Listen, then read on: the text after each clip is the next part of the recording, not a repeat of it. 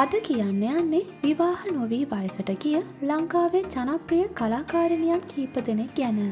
Video එක බලන්න කලින් අපේ YouTube චනල් එක සබස්ක්‍රයිබ් කරන්නත් අමතක කරන්න එපා.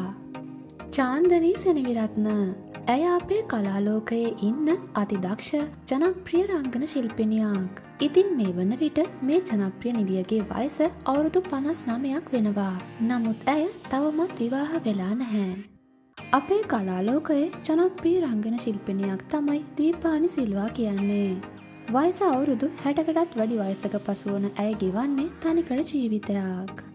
කලාලෝකයේ අහිංසකාවිය යශෝතා විමල ධර්ම. පනස් එක්වන වී පසුවන ඇය තවමත් තනිකඩ ජීවිතයක් තමයි ගත කරන්නේ. තනූජා ජයවර්ධන කියන්නේ අපේ රටේ දක්ෂ සහ ජනප්‍රිය නිවේදිකාවක්. වයස අවුරුදු හතලයකට වැඩි ඇය කියන්නෙම කිසිම දිනයක විවාහ නොවන බවයි.